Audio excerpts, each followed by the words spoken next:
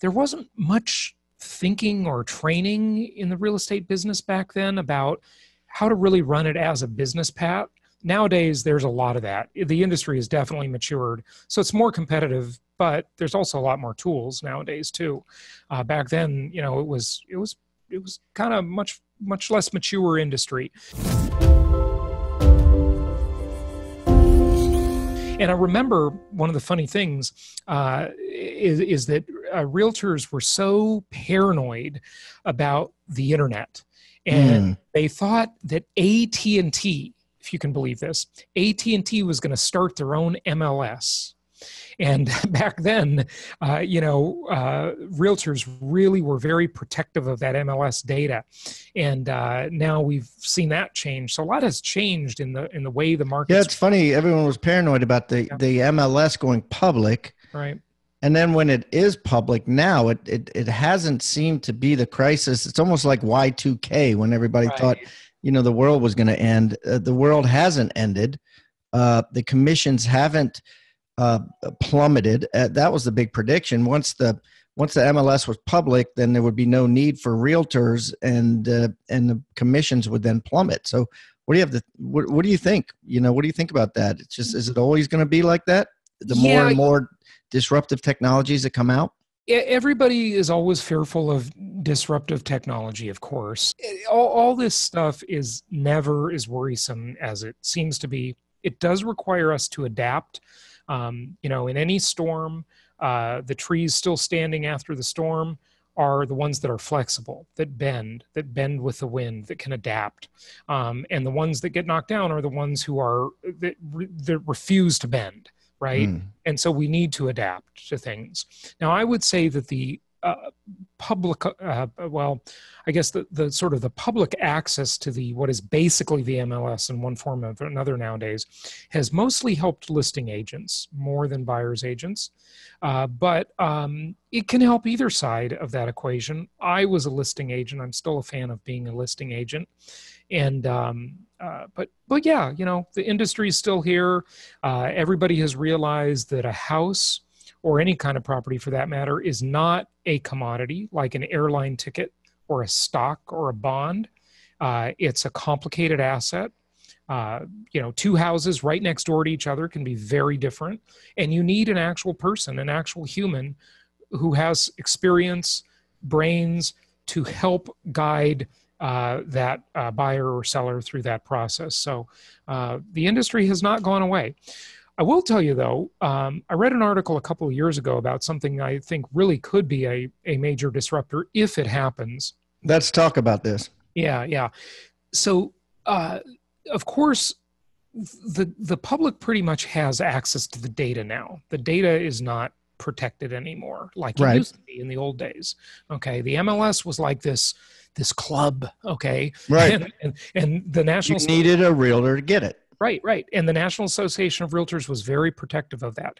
Well, the one part that the realtors still have control of is access access to the actual property right uh, they have the lockbox key mm, temporarily i mean now on rentals i don't know about your rentals but a lot of my rentals now are going to um, you know electronic lock boxes and uh, cameras because cameras are so cheap you can see who's yeah. in and out of the house Right, right. Um, by the way, I'd love to hear more about exactly how you're executing on that because I, I know some of our clients are using that. They're using the electronic locks or lock boxes, and uh, you know where people can use put an app on their phone, get access, and so forth uh, for a vacant rental. But when it's an occupied house, it's still the real estate agent that's really when it's an occupied house. Yeah, today yeah. when it's an occupied house. My opinion is that in the future, cameras are so cheap that people will have 75 cameras per house.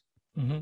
You know, so even if it's an occupied house and you go out and take your dog for a walk or you go get some coffee, you're going to know everything and anything of what someone's doing in your house and it's going to be recorded. I mean, I don't know what's going to happen, but what you're referring to is kind of the concept of Amazon Key, right? Mm, yes, that yes, Amazon indeed. Key program Yeah. where uh, you know you can authorize the delivery person to go inside your house and leave your packages, right? Correct. And so, so that's all a possibility. We'll see how it goes. But the one I was specifically referring to is that I remember reading an article that Zillow was uh, trying to do a deal with Uber uh, to provide lockbox keys to Uber drivers.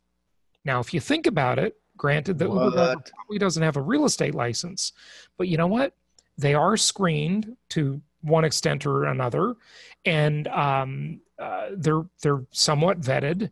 Uh, and you know, if they if you could go see houses with an Uber, that could be a game changer. That, that's interesting. Let's think about this, guys. So everybody, I just want to everyone to stop and think about this. If you're going to put your life in an Uber of a random person, right? Again, you're talking about a random person.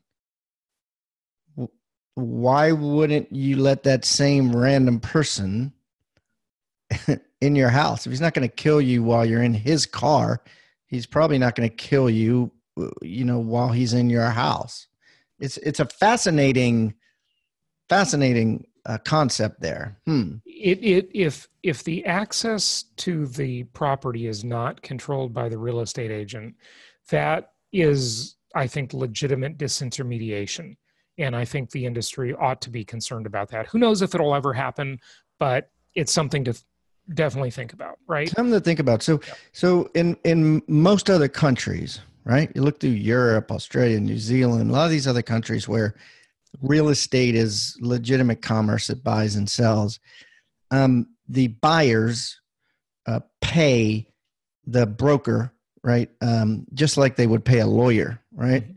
Yep. and the average commission uh, outside of north america is a full percentage less uh, like they say the average commission and i'm going to round is is like 1.5 everywhere else outside of north america. But in north america it's average 2.65 and and the reason that they say and this this is all based on articles is because that uh, the buyers are paying the agent direct themselves and thereby they're negotiating it and saying hey this is you're only worth one and a half um, and that's going to happen where it could very possibly happen especially if the agent doesn't have to show many houses and they act just like a lawyer acts so what, what, what are your thoughts on that jason Uh, my thoughts are we'll see.